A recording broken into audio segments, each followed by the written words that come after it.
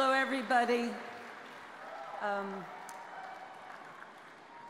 on October 27, 2013, I was at Rockaway Beach and I got the message that Lou Reed had passed. It was a solitary moment.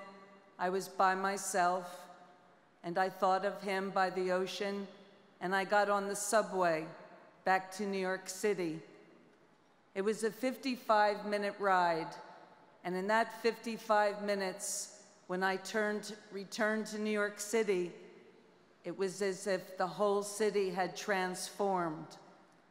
People were crying on the streets. I could hear Lou's voice coming from every cafe. Everyone was playing his music.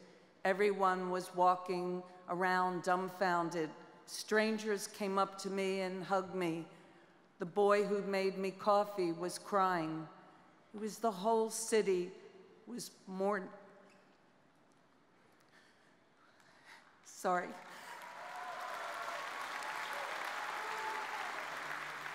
I realized at that moment that I had forgotten when I was on the subway that he was not only my friend, he was the friend of New York City.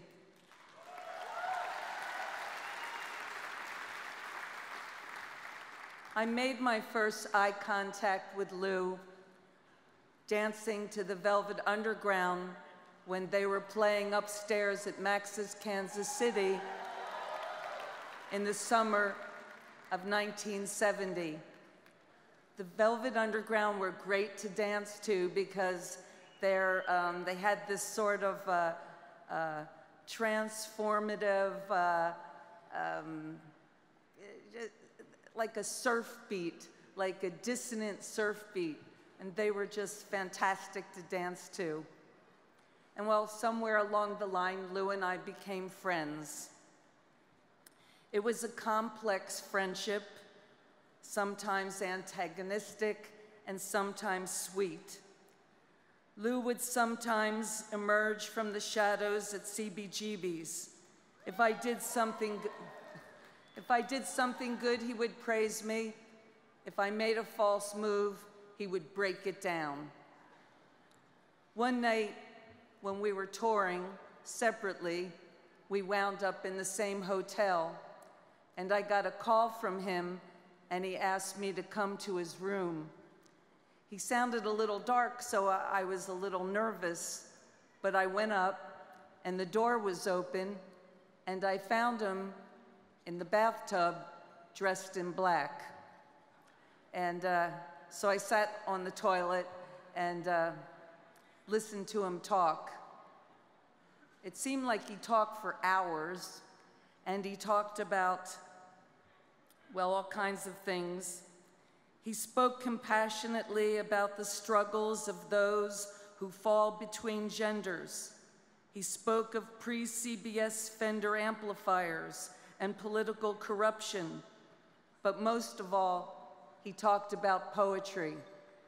He recited the great poets, Rupert Brooke and Hart Crane, Frank O'Hara. He spoke of the poet's um, loneliness and of the poet's, um, the poet's dedication to the highest of muses. When he fell into silence, I said, please take care of yourself so the world can have you as long as it can. And Lou actually smiled. Everything that Lou taught me, I remember. He was a humanist, heralding and raising the downtrodden. His subjects were his royalty that he crowned in his lyrics without judgment or irony.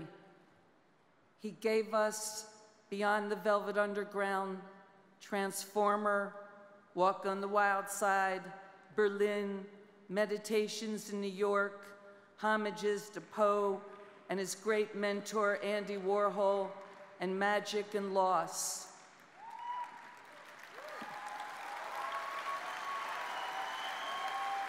His consciousness, His consciousness infiltrated and illuminated our cultural voice. Lou was a poet, able to fold his poetry within his music in the most poignant and plain spoken manner. Oh, it's such a perfect day. Sorry. Sorry. It's such a perfect day. I'm glad I spent it with you. You made me forget myself. I thought I was someone else, someone good. You were good, Lou. You are good.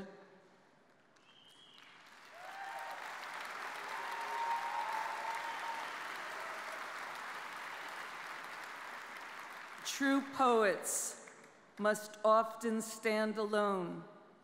As a poet, he must be counted as a solitary artist. And so, Lou, thank you for brutally and benevolently injecting your poetry into music. And for this, we welcome you, Lou. And for this, we welcome you, Lou Reed, into the Rock and Roll Hall of Fame.